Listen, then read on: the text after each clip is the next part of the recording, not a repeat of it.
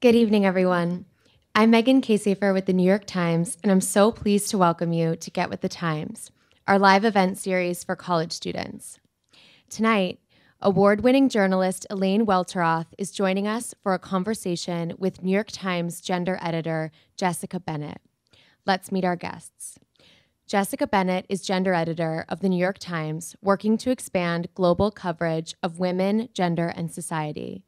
She is the author of Feminist Fight Club, a survival manual for a sexist workplace, which was published by HarperCollins.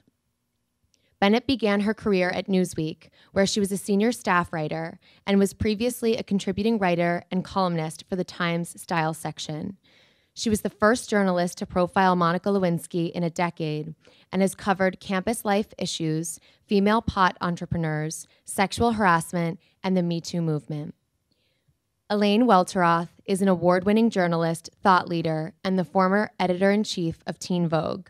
She is the youngest person and the second African American ever to hold the editor in chief title in Conde Nast 107 year history.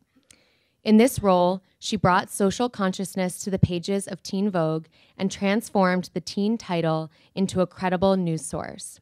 Previously, she held senior roles on the mastheads at Glamour and Ebony magazine, and in 2012, she became Condé Nast's first ever African American beauty director. She's now a leading expert, advocate, and voice for the next generation of changemakers, bringing her fresh perspective to scripted and unscripted projects in TV and film. The New York Times would like to thank our sponsor, The North Face, and our media sponsor, Refinery 29, and the CUNY Graduate School of Journalism for making this program possible. We're delighted to share that the New York Times is streaming this event to students who are hosting watch parties on college campuses across the country. You'll hear from some of them later this evening. Please join me in welcoming Jessica Bennett and Elaine Welteroth.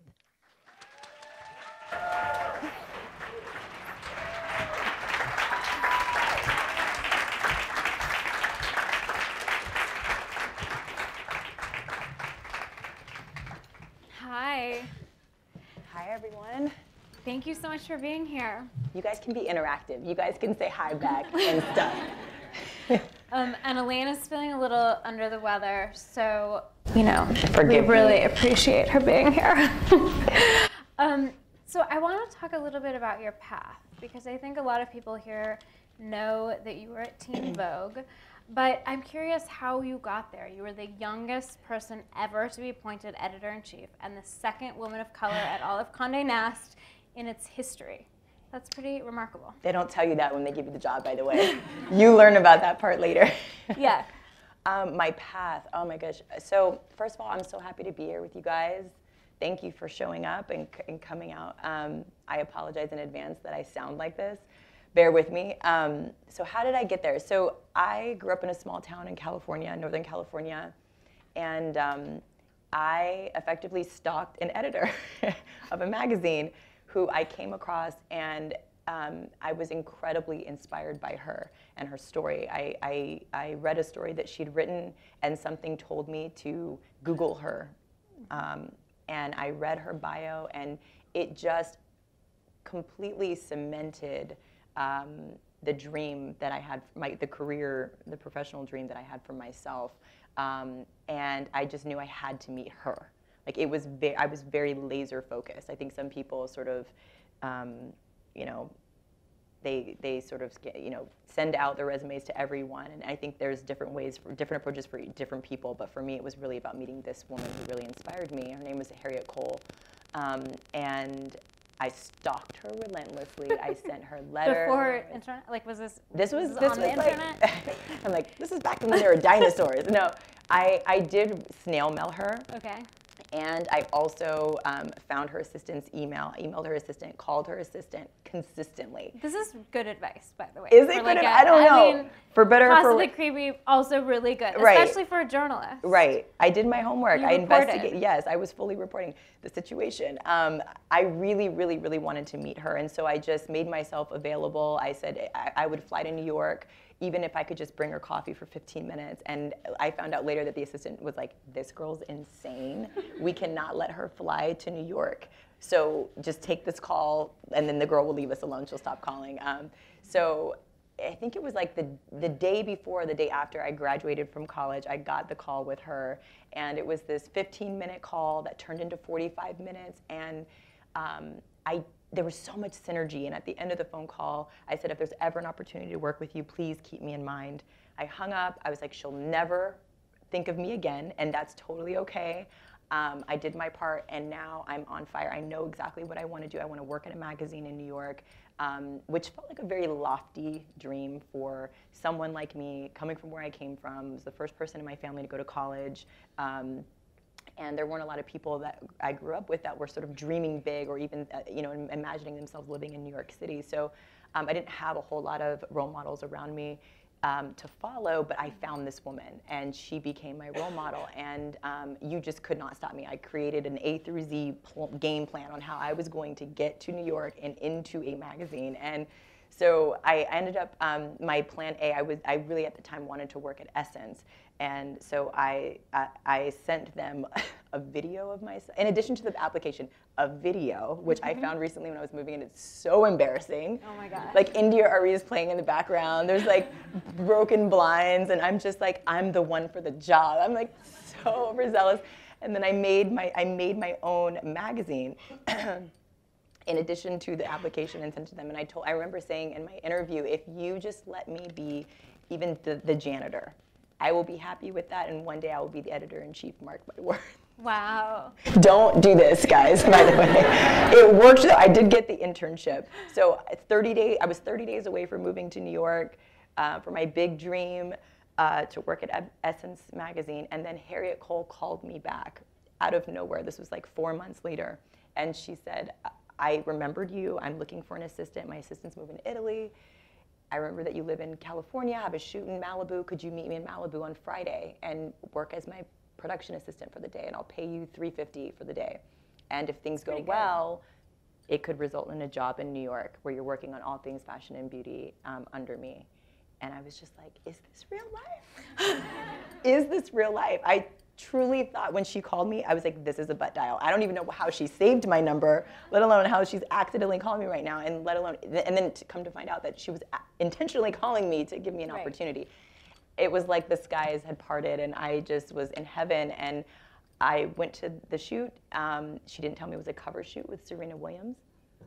And not a bad um, first not a bad gig. first gig. I really felt like the Black Lauren Conrad. Uh-huh. It was really great. And um, by the end of the shoot, she's like, "When are you moving to New York? Like, come on!" And I'm like, "I already have another internship." So you quit oh no, first internship. I, I, had to quit my the internship that I where I told them they should they could just give me the janitor anything. job. I'd yeah. do anything for them, and they're like, "Really? You, now you're going to give it up?" But it was the right move. Um, and I learned so much. I so I started my career at Ebony magazine, which was not the sexy choice by any stretch of the imagination at that time. Everyone was like, why would you work there? I, I, but I was very clear that, first of all, what Ebony meant in the black community, um, but also what Harriette Cole could mean in terms of having a daily mentor. Mm-hmm. Um, I just knew that I would grow leaps and bounds uh, by taking this opportunity, buckling down, kind of you know, becoming very tunnel vision, uh, tunnel vision, and not listening to the naysayers or the haters, um, because I knew that it was the right opportunity for me, and I, so I started my career there, and I ended up starting the beauty and style department at a very young age because simply it was a smaller team, mm-hmm. and there was no one there to do it. They were working with a freelancer before that, and she wasn't present. So I was like, yes, I was the girl who just said yes to everything, mm-hmm. just said yes to every single thing. And um, I actually changed my title in my signature to production assistant like four months in. also, don't recommend that, but did that. And then they started calling me production assistant, and I was making the call sheets. So who's gonna tell me I wasn't? Like, you know. Um, really don't recommend that. But um, eventually they caught on and they were like, well, you kind of are the production assistant now, so. So we'll give you the title? Title. That's how I got my first promotion. Um, I basically gave it to myself. Um, and so, yeah, I worked there for about, I think, four years, which felt like eternity. And I worked through the recession when everyone was losing their jobs, particularly in media. Um, it was a very uncertain time. I, I ate peanut butter peanut butter and jelly sandwiches all day. Just I had a stack in the morning, and I would just eat them down, and then that was how I survived. Um, and eventually, I got the job at Glamour as um, the beauty editor, and uh, was promoted about seven months later to senior beauty editor. And then I got the call from uh, Teen Vogue to come and be the beauty director there. And from there, became the editor, and the rest is history. And so that was ten, 10 years ago That was- when all that first. June 1 will be 10 years from when Wow. I landed in New York City. Yeah. So you're a New Yorker now. So I'm officially a New Yorker now. so they say. Congratulations. Thank you. Um, well, Teen Vogue hugely changed under your watch.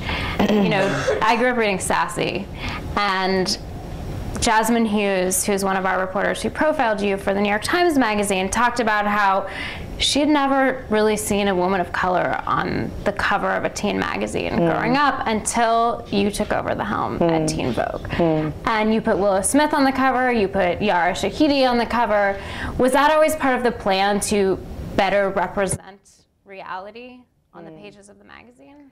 Well, so it actually didn't start with Willow and it didn't start with my appointment. We had been working towards, you know, making sure that our coverage was- was much more diverse um, for a while. I mean, that prior to my appointment, there was a cover that we did in August in 2015, I think. Fact check me because Trump has thrown me off in terms of time. life is yeah, confusing. life is completely anyway. Um, we've like tipped off our axes, and I'm just like, what day is it? What year? I don't know. Um, but we did a cover that sort of defied all of the traditional rules of um, magazine journalism. And uh, at the time, I was working with a really talented creative director. Her name is Marie Suter, and she she's French and and she's been in bu- business a long time. And she was like, there are three things that they have always said to never do um, or three three things that will ensure that your magazine will not sell. Uh, put a no-name model on the cover, uh, or, or a model on the cover, a no-name model, and black girl. We did all three on one cover, and um, we. It was it was this moment where we we just we knew that these were the three girls that did represent the future of fashion, um, and it was Lineisy Montero, uh, Aya Jones, and uh, Imaan Hammam.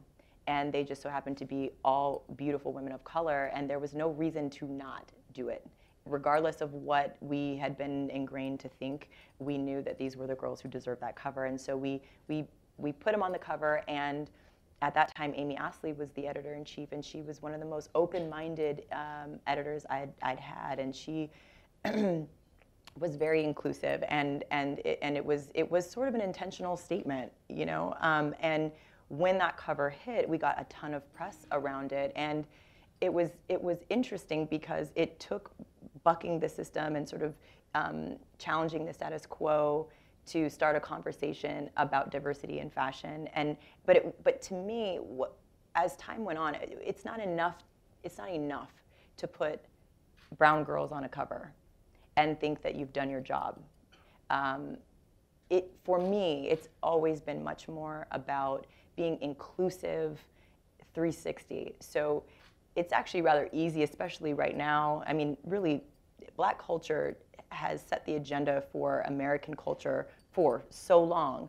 So it's, it's, it's not hard to find a talented, beautiful black person or Muslim person or queer person to put on a, the cover of a magazine.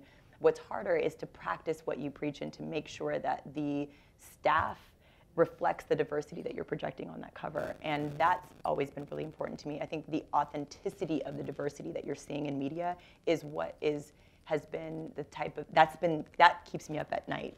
Um, and in fact, I think it's more important.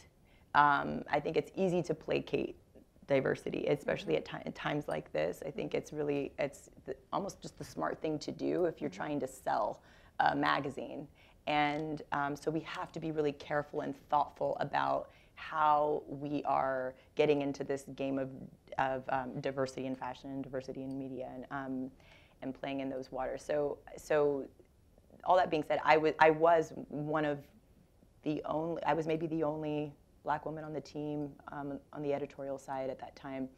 But as you know, things started to move very quickly into the direction of sort of getting handed the, the reins mm-hmm. of Teen Vogue, um, I, I knew that I was being given a, a, responsibility that had not been given to anyone who ever looked like me before. Mm-hmm. Um, and I knew growing up what it felt like to not see myself in, in, uh, cel- in, in ways that were celebrated by the media. I always, I saw black girls as marginalized figures, and they were always pushed to the to the sides. And um, you know, when you watch like the Barbie commercial, you see like the main Barbie who's blonde, and right. then you see like her black the friend and her yeah, or her Latina friend, and they're like in the background. And I never felt growing up that like I didn't. I, I, it messed with me. I remember not wanting the black doll when my mom gave it to me. I was like, I want the real doll, and that so it reinforced just the power of media, and the mm-hmm. power of representation in media, and and I realized that when I was given this opportunity to do things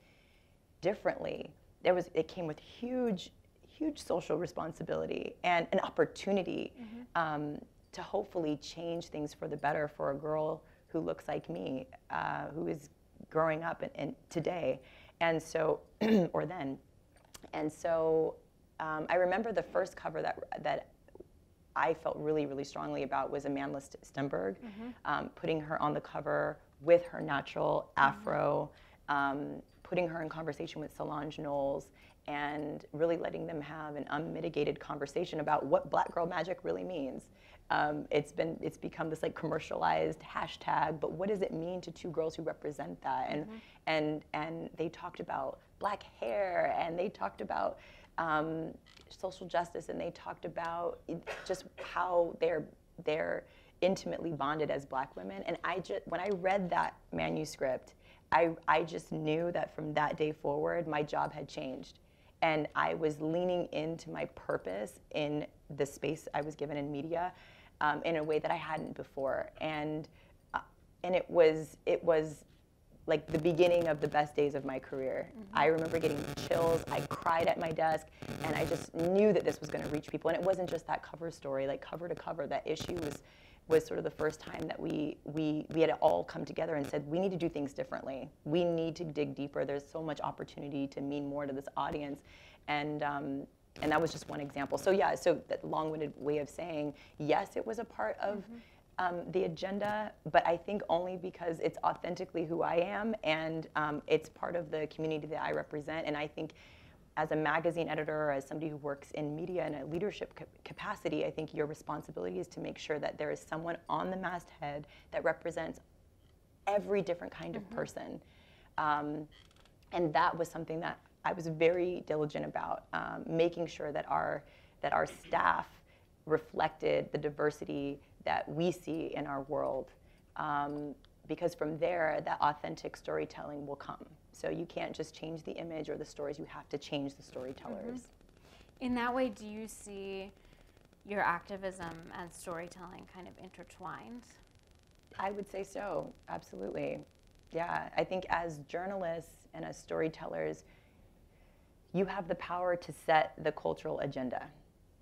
And so y- your job is to tell the truth.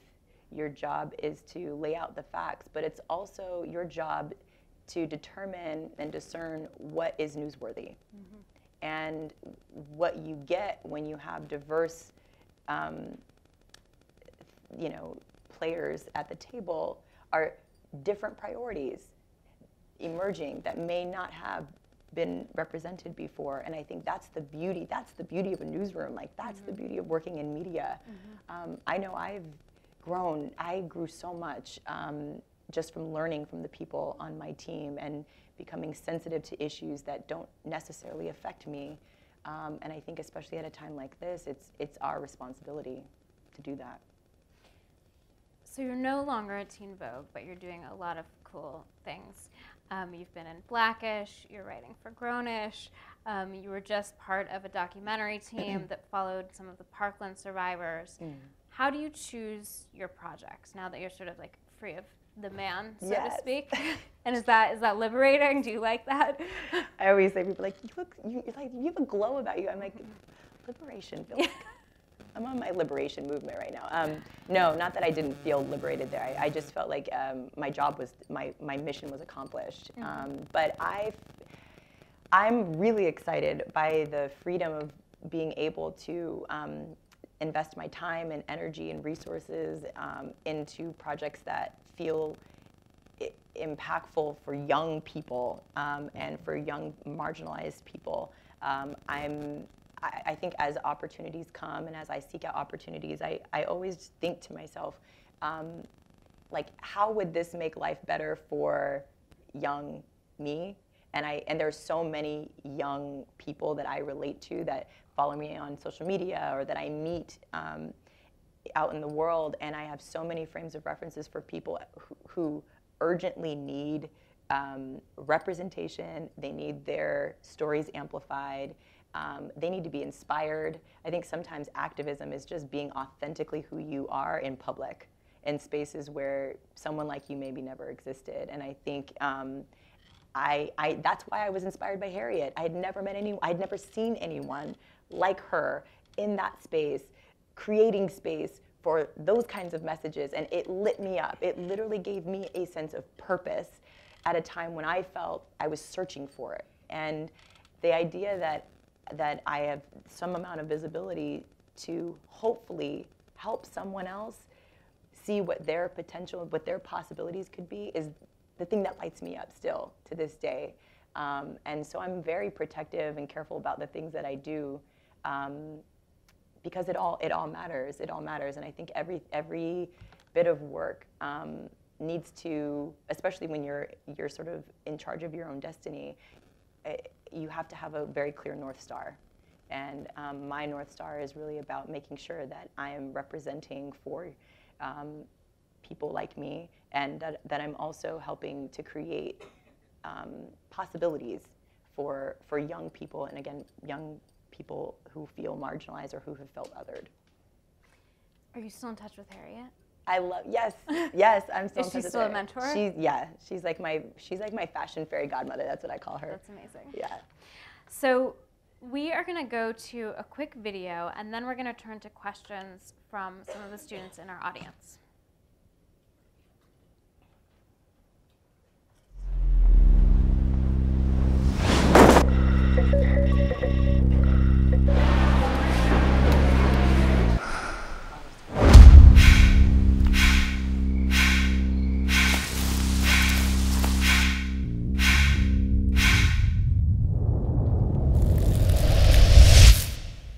I heard Amy Poehler speak at the White House. Her words hit me hard like a light bulb. Fictitious depictions echoes must die out. If we wanna live in a world that triumphs, I am just talking about loving the femme. I ain't talking about nobody else. I'm just talking about loving ourselves.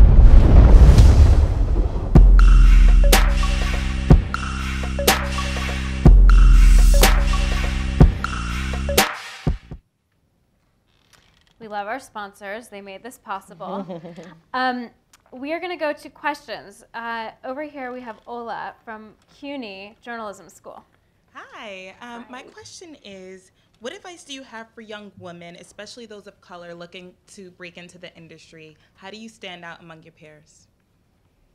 Well, I think that um, being yourself is you're going to stand out. You actually cannot help but stand out. So I think embracing that, leaning into that, and not trying to conform um, is probably your that, that will that will set you ahead of your peers. I think I spent a lot of time in my career trying to conform um, for the sake of credibility, and I don't think that I actually um, reached my potential until I shed that uh, that weight or that I, I, and, and no one tells you to do that. You just sort of you, it, it becomes a survival tactic that we pick up over time. But I think um, the idea that you are there because of your unique perspective that no one else can bring should hopefully help empower you to be your full self when you come into interviews and when you're if you have the opportunity to be at the table to speak up.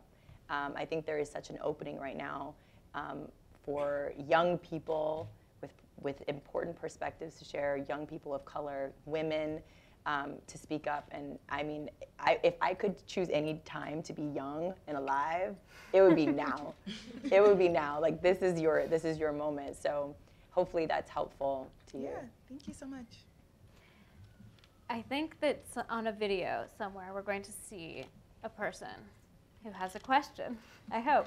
If not, we'll go back to IRL. Hi Elaine, I'm Elizabeth from Fordham University, and I have a question about your time at Teen Vogue. I was wondering how you chose content that expressed how you felt, yet still remained unbiased. Thanks.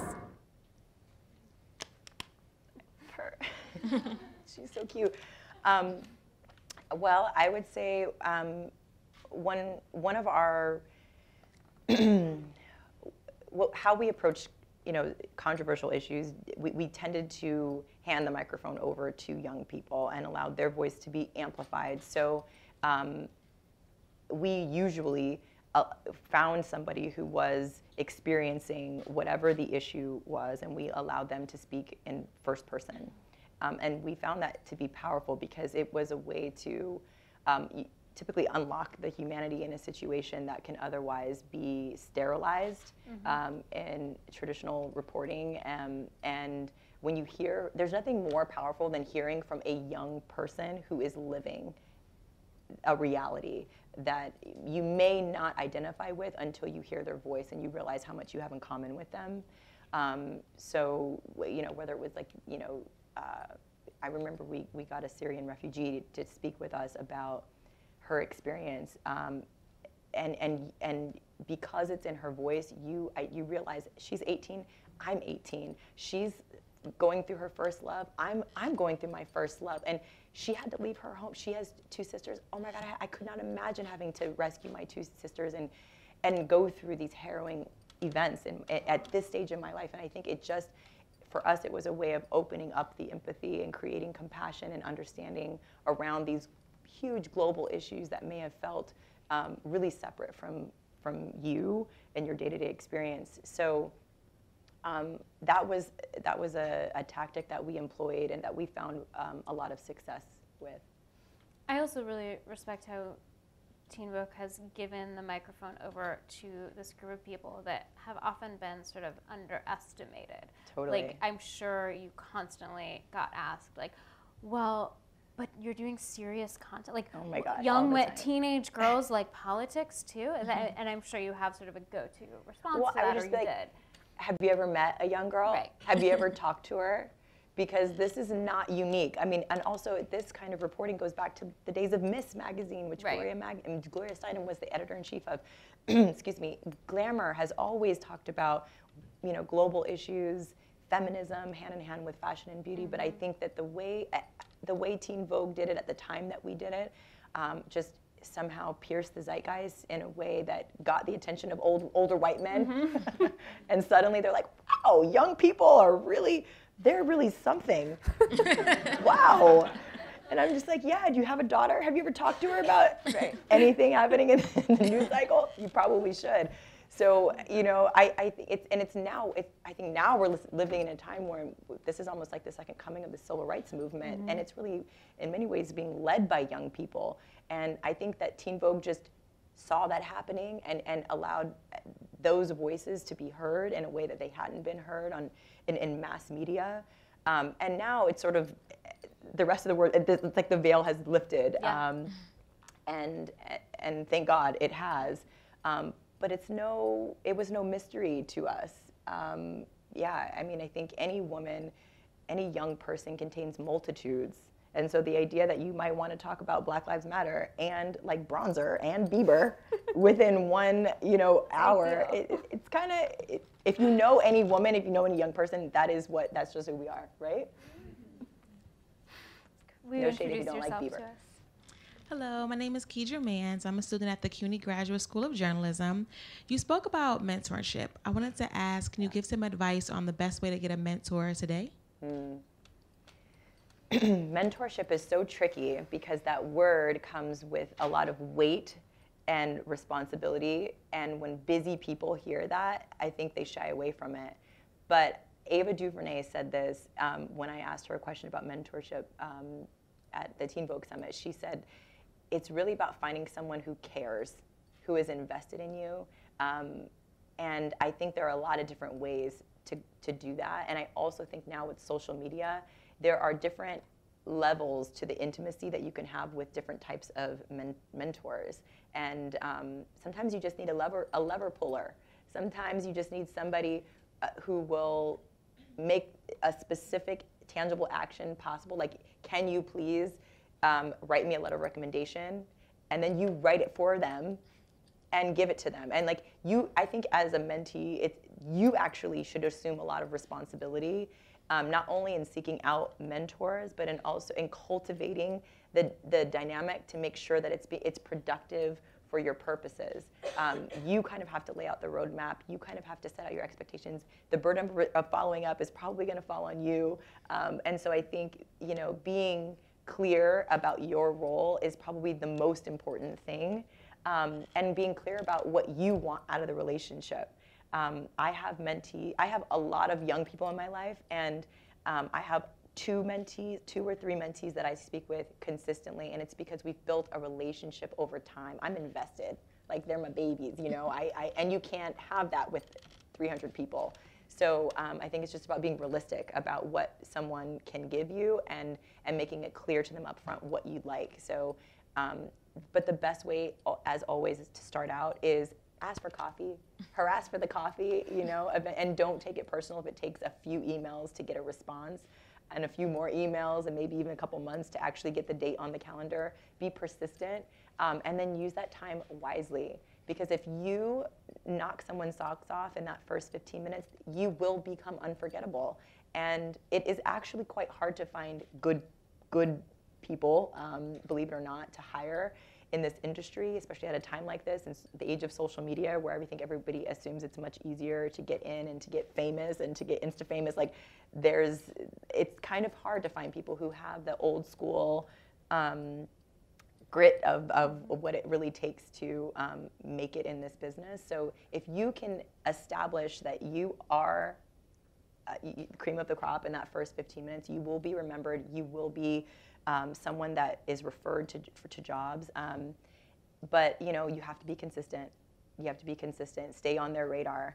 Um, and also just be clear about what you'd like. I think just blanket asking someone to be your, your, mentor might not be the best approach. I think it might be, hey, here's what I love about your work. Here's what I'd like you to know about my work, and here's a way that I could that that you could potentially be helpful to me. Would you be so kind as to X?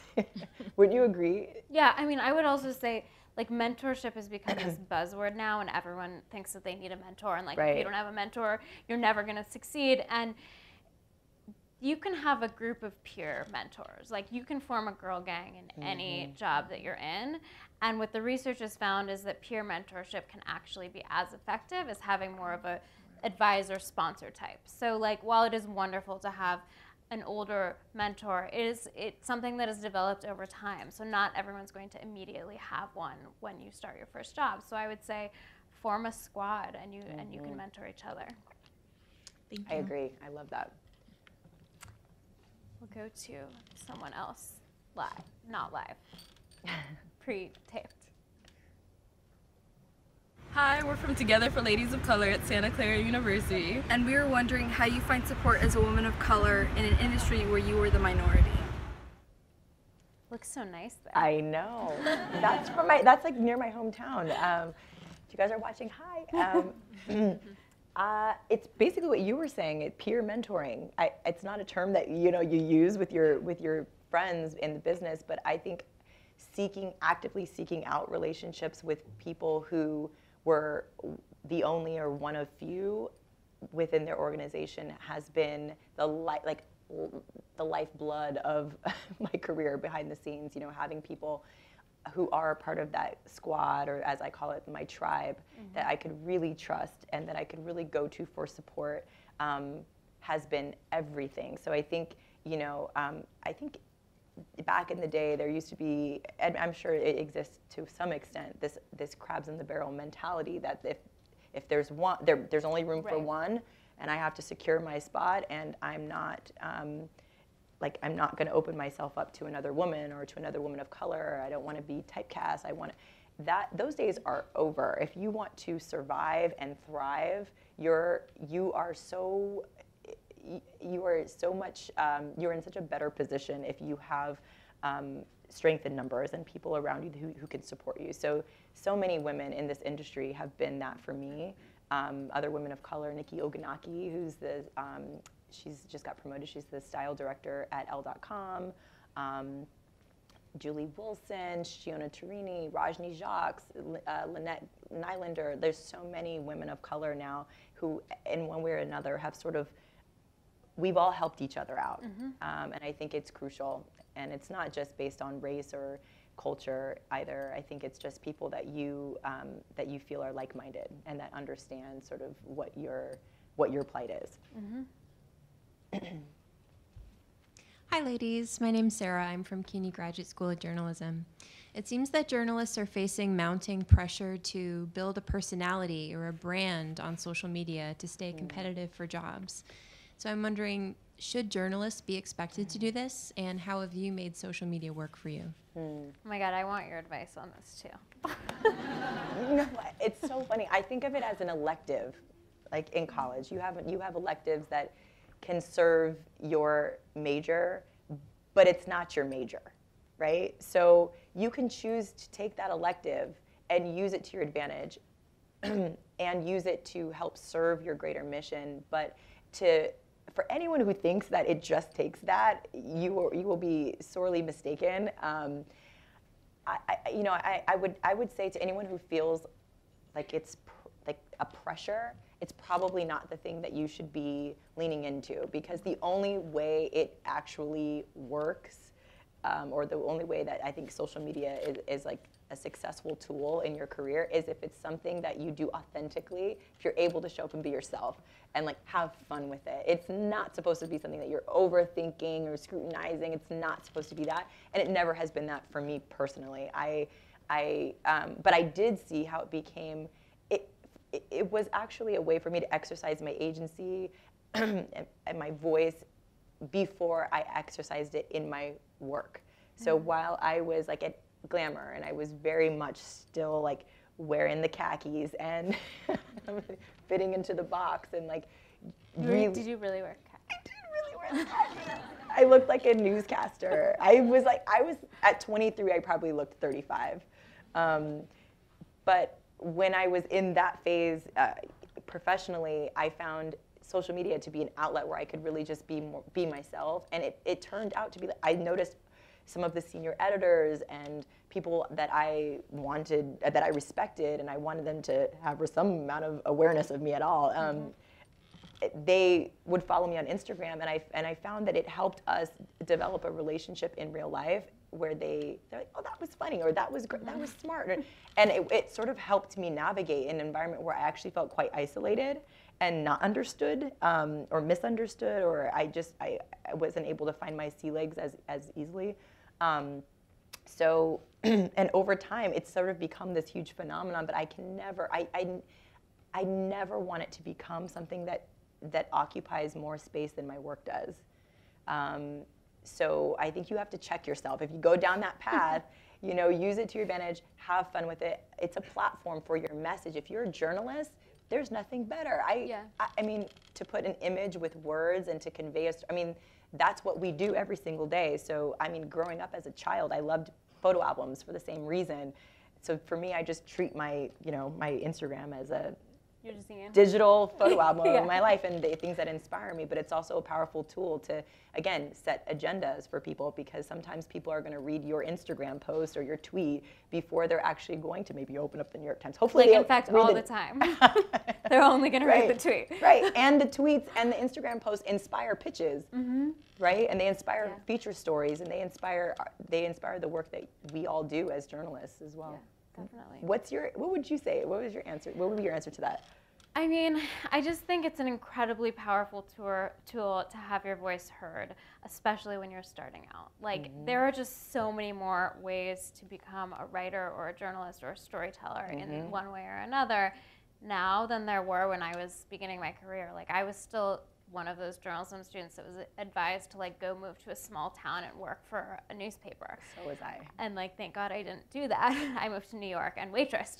Um, but I think that you know you can find your voice, and other people can find your voice online in a way that they simply couldn't in the past. Like it's sort of Yep. democratized media in a way. We can all have a voice and a platform now. Yep. Um, we are going to Sarah at UC Irvine. Hi, my name is Sarah Lee and I go to UCI. And um, the question I had was what advice do you have for a student who's still trying to figure out what they want to pursue in the future? That's the most important question of life, and you will ask it again and again. Um, I, I always say that the universe or the world doesn't prepare young people for real wor- the real world and for how to how to answer that question. Um, but the way I found the answer to that question for me was just mining my everyday life and mining my own childhood for the things that gave me life, the things that gave me joy, the things that I was already doing for free.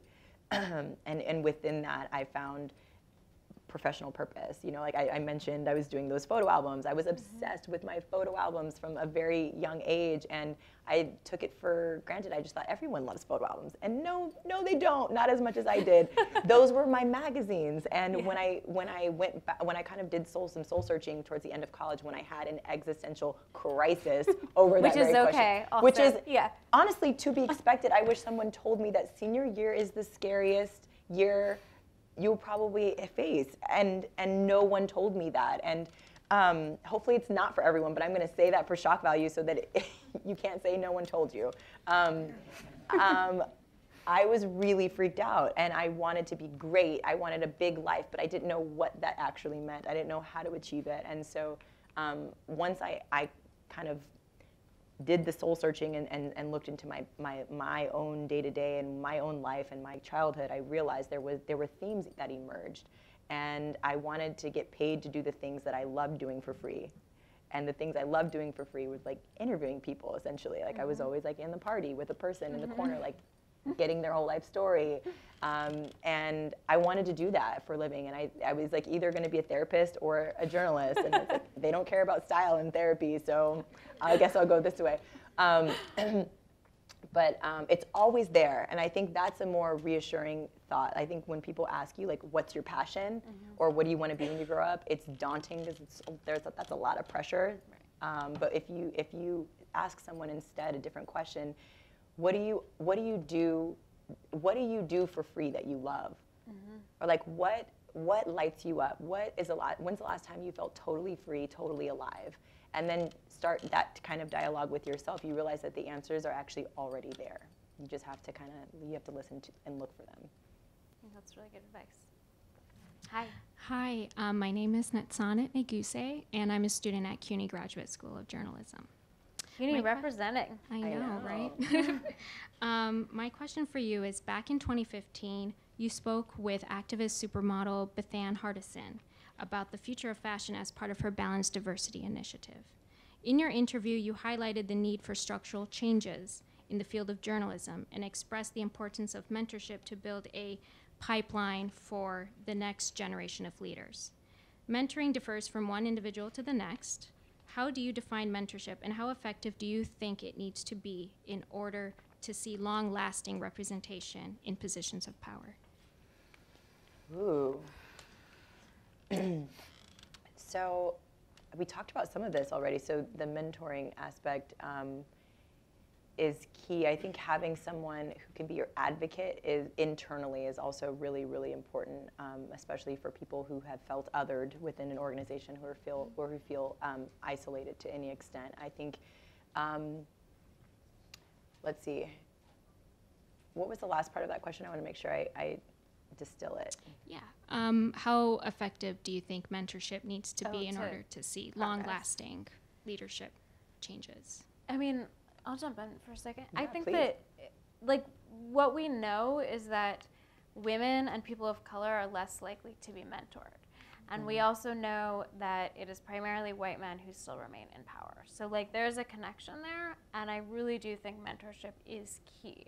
we were talking about how you can have peer mentors, like that can be just as effective. But having people around you to support you, and especially you mentioned the pipeline, like moving up the corporate ladder, it's incredibly important. And there are some institutions that have, have taken strides to actually create mandatory mentorship programs because they know that it's happening less. Mm-hmm. Um, and so we need to solve for that. And I think, especially now, in this moment that we're in, post Me Too, or in the middle of Me Too, when men are feeling uncomfortable at work, nobody's quite sure how to interact, like it's really awkward in a lot of ways, and we already know what research has found is that men are less likely to mentor women because they're worried it will be taken the wrong way by mm-hmm. other peers. Like, yeah, mandatory mentorship. Why not? Mm-hmm. So, so, that's my two cents on mentorship. Yeah, no, I, I agree with everything you just said, and I, I do think the pipeline issue is um, it's a it's something you have to address at different levels, at different mm-hmm. stages. So um, yes, once they're in the system, then we do need sometimes to set up mandatory mentorship opportunities. But how do we even get them there? Mm-hmm. And I think having more a more inclusive work environment will only breed a more inclusive work environment. We know that research also shows that we hire people who look like us, who we relate to, and so that's how you get into this scenario where you have an echo chamber or you have you have a you have an office environment that only reflects one kind of person. Um, so we have to be really intentional about breaking through our own bias and seeing beyond beyond our bias and and making sure that we're creating an intentionally inclusive environment because it's not going to happen any other way you know it, it just isn't and i don't think it's necessarily about setting quotas but i think it's about creating a responsibility. Everyone should feel a part of this responsibility. Um, I think if you're looking at a, a, a, job pool that is only one kind of person, you just have to you have to force yourself to go beyond that. Um, and the work always benefits from it, is what I have found consistently in my mm-hmm. career. Um, so I think, yeah, I mean, creating a pipeline is the first thing. It's like, how do we get someone in the door who had who would who would otherwise not be here? And then how do we create a, respons- a culture of responsibility where everyone feels it's their job to make sure that everyone feels safe in, in that environment, emotionally safe, um, and in every other way. Uh, and then, yeah, in, in terms of oper- operationalizing it and creating systems within that structure so that people can grow and thrive in those environments because just sometimes just getting them in the door is not enough. There are plenty of companies that see mm-hmm. people come in and out because it's just the culture hasn't hasn't evolved to support the diverse the diverse culture. Mm-hmm. Um, or sorry, the culture hasn't evolved to support the diversity of the people that are now coming into the mm-hmm. system. So it's it's multi-pronged for anybody who thinks that the diversity inclusion issue at, in corporations is an easy thing to solve. It's not. It's yeah, it's multi-pronged. Hopefully, some of you. But you all, yeah, exactly. you all are the future. We're gonna do one more. Um, this is from Elsa at the University of San Diego. Hi, Elaine. My name is Elsa. I'm with the University of San Diego, and my question for you is, how can we as students bring more social consciousness to journalism? I just thought that there's the West Coast is represented here. That's amazing. Um, how can we bring more, more social consciousness to journalism? Um, by bringing your social consciousness into the work that you do every day. And I think, again, as I said earlier, there's an opening right now for it. I think that we are more awake than we've ever been to our own blind spots and biases. And I think um, it's really up to young people to come in with those fresh perspectives and to, and to push the older folks um, out of the, uh, the status quo, just thinking a certain way and operating a certain way. Um, and pitch. Like, mm-hmm. I can't tell you how many times I've been inspired by pitches that have come in, even on Twitter mm-hmm. um, or in my DMs from young people with a really fresh perspective about issues happening, uh, issues that we are facing our world today. So, um, I think it's really just about staying informed, read everything, and then not being afraid when you get the opportunity to share your perspective. What, what would you say to that?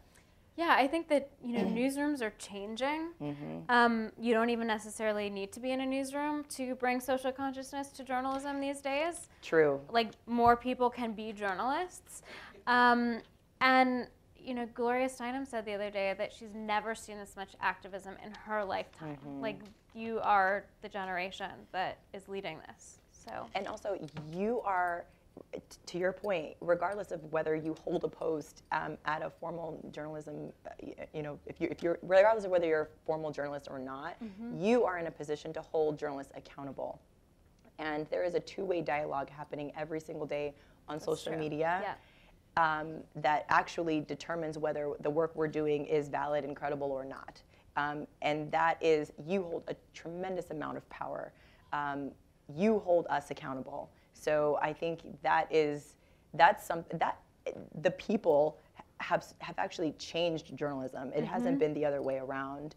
Um, and I've seen it happen so quickly. Even in the last five years, the way we work is so different. And we're, we are constantly listening. We do a lot of social listening to make sure that what we're doing is resonating. And if we are wrong and if we are biased, we are going to get called out. And um, I think that transparency is so important. And it's really made us all, I think, better journalists. Mhm. And and the reality is that institutions cannot thrive if they're not being representative of the actual population. So Totally. I think it's so important. And I actually heard a quote on the way over here. I was listening to DeRay's podcast. Um, DeRay McKesson has a podcast called Pod Save the People, and um, he was in he was interviewing Brene Brown, and she said um, she quoted Beyonce. Okay. so I know it's a lot. It's a lot. It's good. But um, did you follow me there? okay. And and I'm gonna I'm gonna look at my phone. She said um, she said I've worked. Beyonce said I worked really hard to get to a point where I can do what is right and not necessarily what is popular. Mm. Isn't that so good? I feel like as a culture, that's where we are now. Yeah. And now, if you have a platform, which maybe is just your Twitter platform, we have a responsibility to do what is right and not what is just popular. And so, um, hopefully, that inspires someone. It inspired me today, and I think that's really been my mantra for throughout my career at Teen Vogue and, and beyond. It's looking for the spaces that need to be filled. It's looking for the white spaces. It's looking for um, the counter narrative. It's looking for um, opportunities to make a difference and, and to make a positive impact and not just following the not just following trend. That's amazing. Everyone, round of applause for Elaine Welteroth. Thank you.